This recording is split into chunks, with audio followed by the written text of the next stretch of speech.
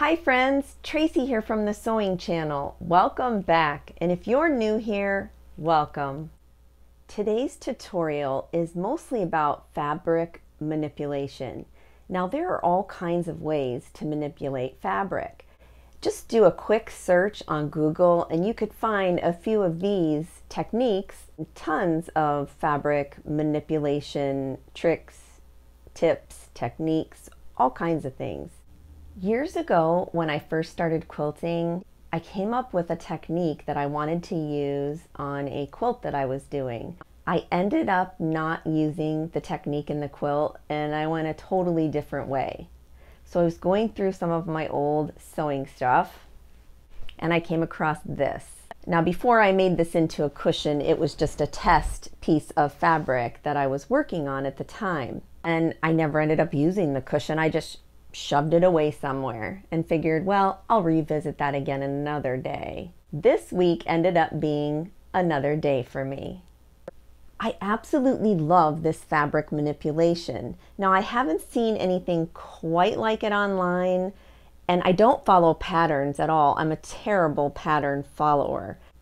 I make things up as I go as they make sense to me. and a lot of times patterns just don't make sense to me. Now the reason I didn't end up using this in my quilt project years ago was because it's a lot of work. But for a tote bag, it's doable. It's been so long since I've seen this that I even had to unpick this and go in and see what the heck did I do there?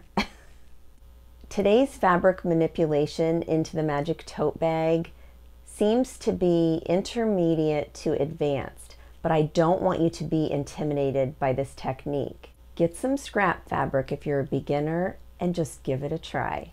Let's clear one thing up real quick. This right here is not a real dog on my shirt. I'm not holding a dog. Nope. In one of my videos when I wore this sweater, a lot of people thought that I was literally holding a dog. It's not real, guys. I, I, I kid you not, it's not real. I do have some grand dogs, but not real. Enough talking already. Let's get busy learning something new. Get ready to take a screenshot of the fabric you will need for today's fabric manipulation magic tote bag. Just like you would do with a quilt project, you're going to lay out all of your pieces in the manner that you would like to see them on your finished product. Just keep in mind that this will be folded in half so that you don't have, you know, light colors touching light colors. Here I did more of a red and blue, red and blue type sequence. Now we're going to piece those rows together just like we would in a quilt project. And I'm going to use a quarter inch seam allowance. After I've connected each piece at the sewing machine, I do quickly finger press as I go right at the sewing machine. This is what you should have so far. All three of those rows that have the five inch pieces in it, those should be all connected. Now what we're going to do is iron the seam allowance to one side. Now it doesn't matter which side on this particular project. Now it would matter if you were making a quilt, but for this, no worries. Just go ahead and iron it to whatever side you feel like at the moment. Are you loving my tiny tabletop ironing board? Go ahead, click the link in the top right hand corner and check out that tutorial. For this project, we are going to start from the bottom and work our way up. So what we're going to do is take those two bottom rows and connect them together, being sure that that white strip does still remain the bottom of our project. Make sure everything is nice and even and pop a few pins in there and then we are going to take it over to the sewing machine and we are going to do a quarter inch seam allowance all the way down the edge where it is pinned.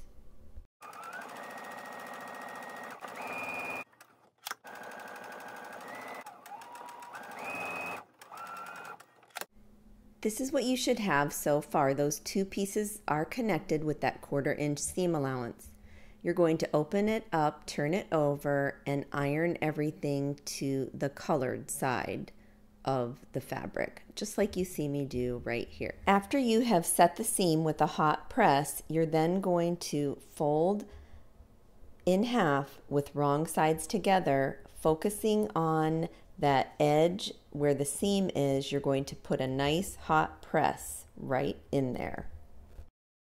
You may have to take your fingers and roll that seam to the very edge being sure that one color is on one side and one on the other, just like you see me do here. And that hot crease is very important to be putting in there. It will definitely help us when we get over to the sewing machine to sew the top stitch on. Once you've put a hot press in the one side of the fold, you are then going to flip it over and do the other colored side and just give it a nice hot press all the way down. With those two rows still folded, go ahead and take it over to the sewing machine and sew a quarter inch top stitch all the way down, just like you see me doing right here. You will be able to see this top stitch thread in the final project, so you may want to um, make it pop out more with a different color or make it more invisible within your fabric choice. This is what you should have so far. This seam sort of reminds me of a reverse French seam with a twist. Just to keep everything nice and flat, I open it up and sort of with my hands just slide, kind of glide down the fabric, uh, finger pressing, so to speak. But the next step is going to be to add that next white row onto that colored row. So we're just going to flip it over right sides together and we're going to do the same exact thing that we just did to those first two rows, but now just incorporating it into the next rows. So a quarter inch seam allowance all the way down connecting those two fabrics together then pressing the seam allowance to one side, then folding them to wrong sides and pressing in that nice crease and top stitching it after that. This is what you should have so far after you've done all those steps. Here's a good look at the back, what it should look like, and then again the front. And you're going to just strip by strip keep adding those on just in the same sequence of steps that you just did. A tip I would like to give you when adding on the colored fabrics that have the seam in them, try to make sure that they are lined up with the seam in the row just before it because we will be putting a line of stitching through those seams. So we do want to make sure that you are somewhat on point, so to speak. Looking good. This is what you should have after four rows of attachment.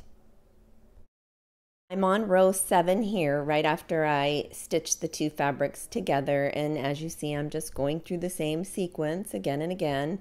And then I'm going to get ready and do my top stitch here once I get that crease all nice and pressed. This is the last row that I'm working on here and I'm just going to go through that same exact sequence of steps. I could totally see this on a quilt, this technique. I mean, it would be so unique. I've never seen anything like this on a quilt. Let me know down in the comments though if I'm wrong. I'm just, I'm not sure that I've ever seen it. But you could swap out and put the that white muted color as your five inch pieces and make a bunch of very subdued colors and make the long strip one busy fabric.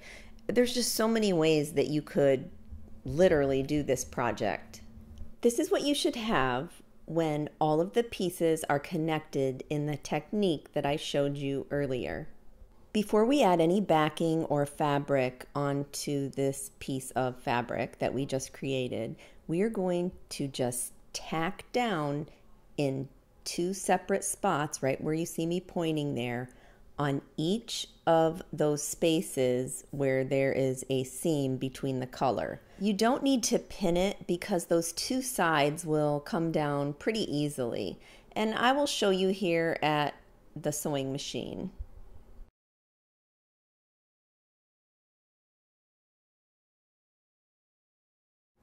Now this part may seem tedious to you because I do cut my threads after every single um, tack down that I do.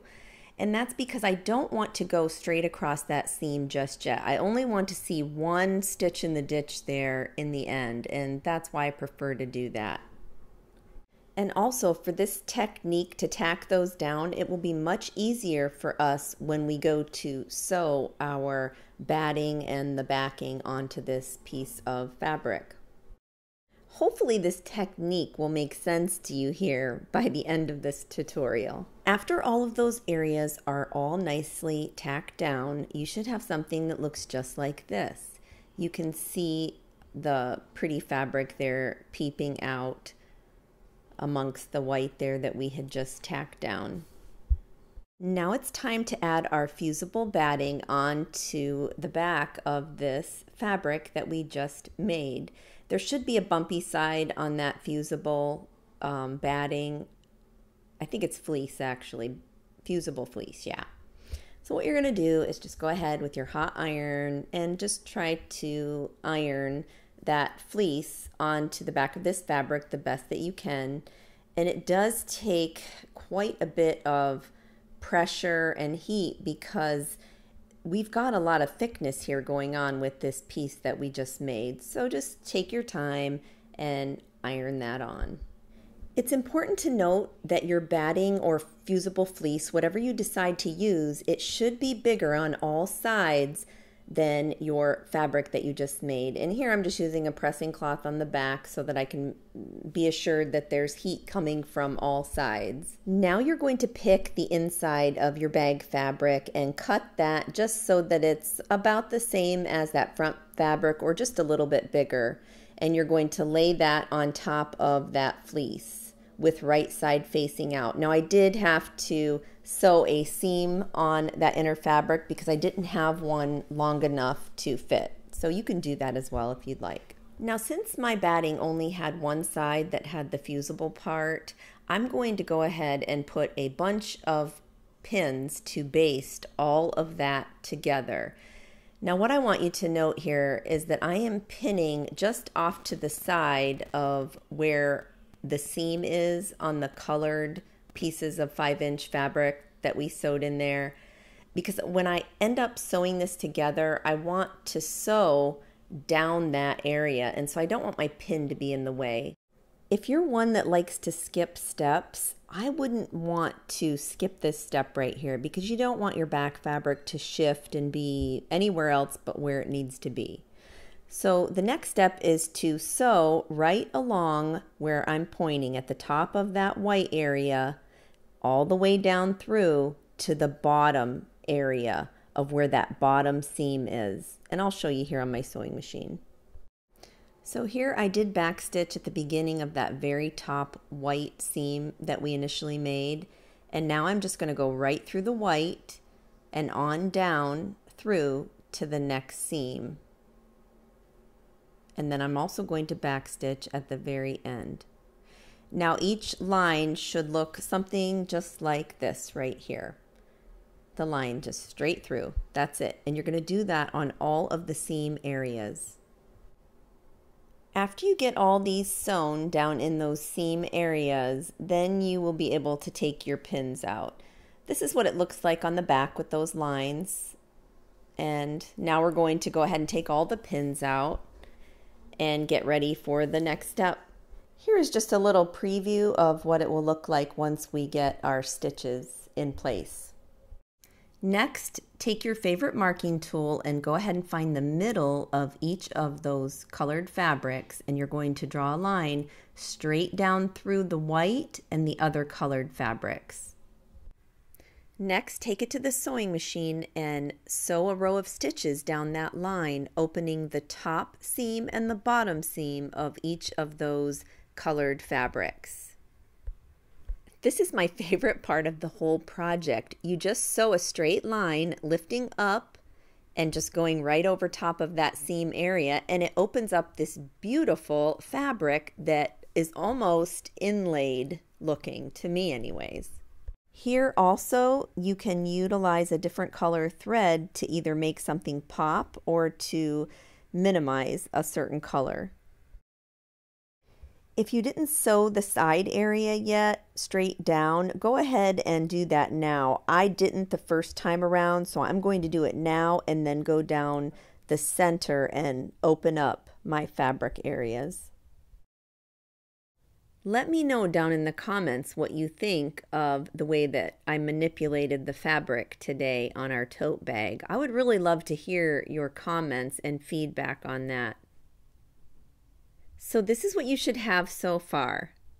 Oh my word, it looks so good. I really do love this technique. I've been debating on what to call my technique today on my tote bag. I think I've decided on the waves of Lake Erie. I mean, I do live by the lake and I use nautical fabric, so, you know.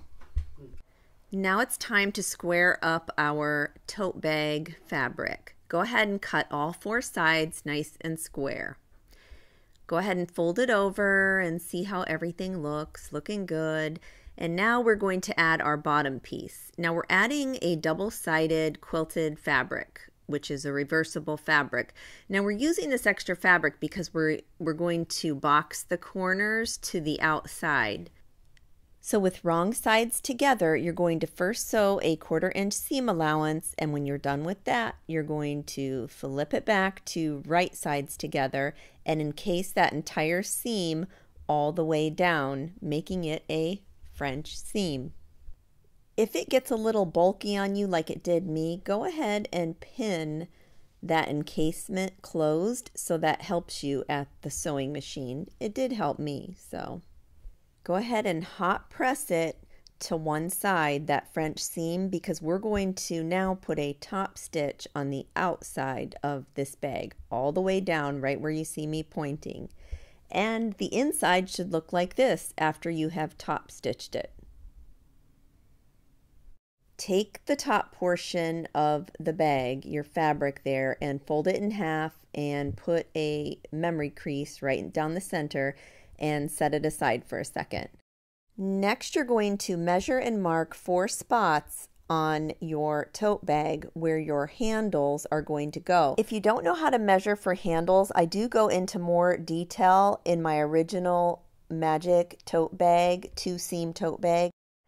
I'll link that video in the top right hand corner here and I will also link it at the end of this video and down in the description box it gives a lot more detail. Take your straps and go ahead and pin them right to your fabric where you marked for the center of your straps.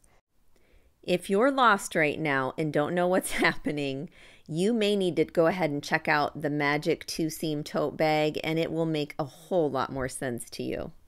So this is what you should have so far exactly laying on your table just like it's laying on my table. What we're going to do next is go ahead and open that top piece up, that part that we folded and pressed a crease in with right side up and then with the wrong side of your tote bag you're going to lay that on top of that piece just like you see me do right here.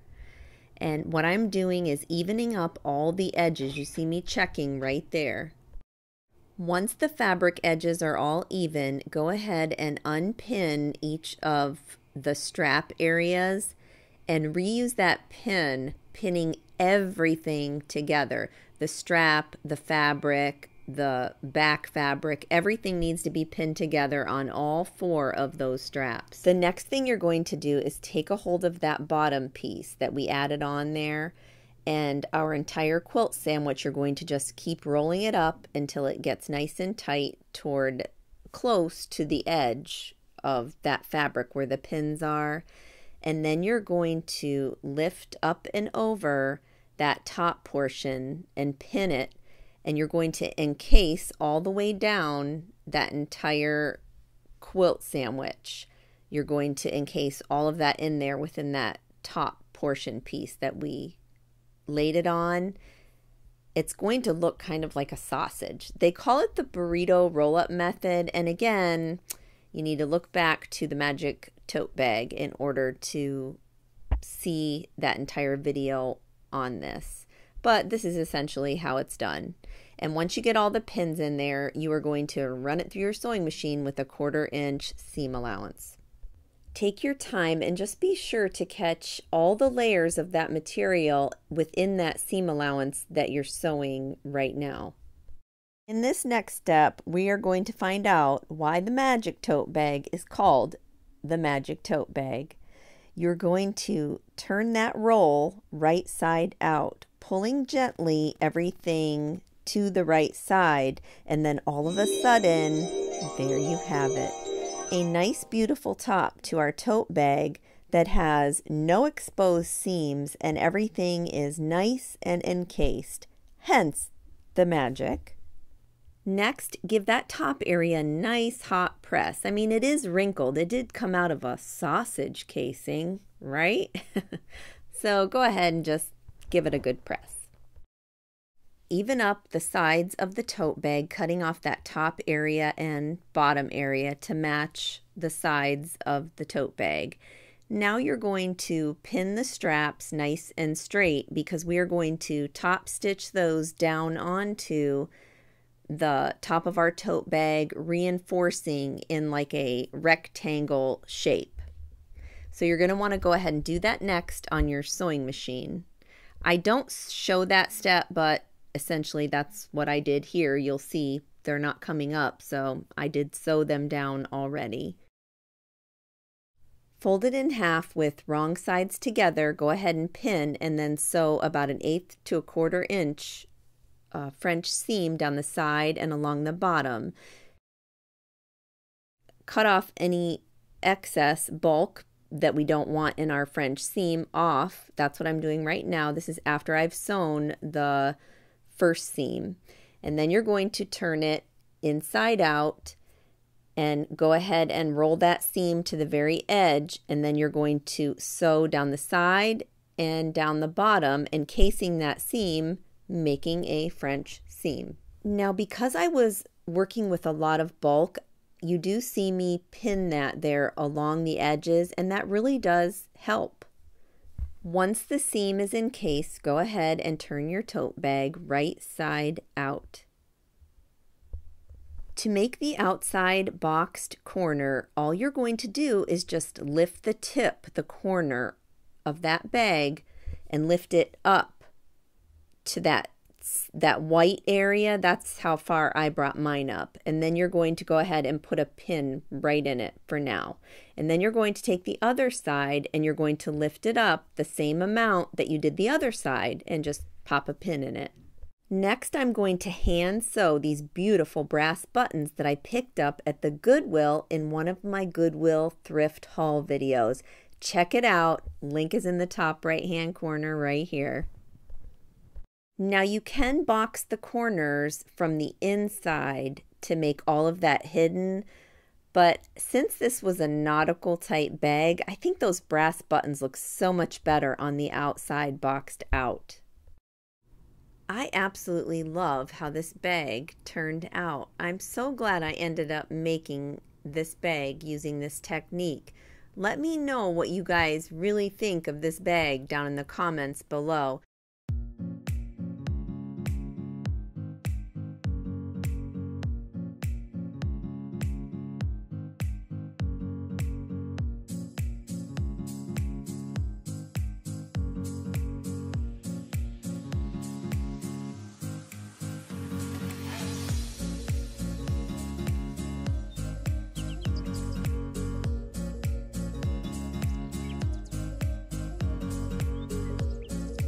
Thank you for supporting my channel by subscribing and hitting the like button for this tutorial. Until next time on the Sewing Channel, take care.